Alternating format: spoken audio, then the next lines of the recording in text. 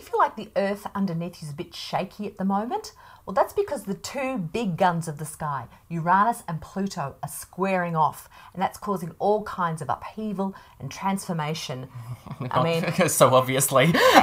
we've been going through this for you know a little while now, Mm-hmm. and it's going to continue for quite some time. But this week we've also got Mercury coming into the picture, which means surprise announcements, things you weren't expecting, are just going to come in out of the blue.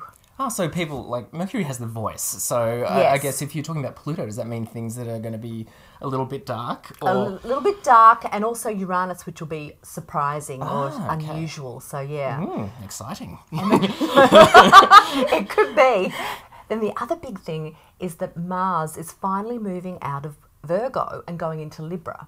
Now, it's been in Virgo for most of this year, so it's been going forwards and backwards. And, you know, for people who are Virgo, you know, it's been a while. It's very, very difficult. So they'll be mm. kind of going, Phew.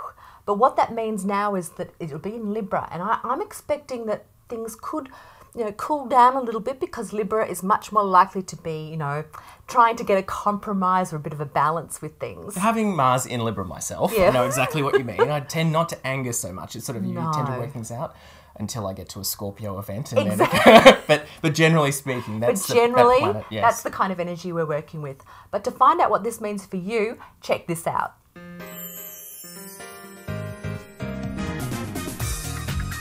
Libra. Oh my god, you've had the lot recently.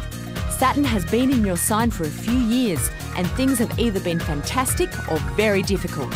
This is a big learning phase. You will get through it, and there will be changes. Mars now enters your sign, and you have lots of energy and the ability to make very big changes. Friends could be crazy this week, but your career and how people perceive you is fantastic.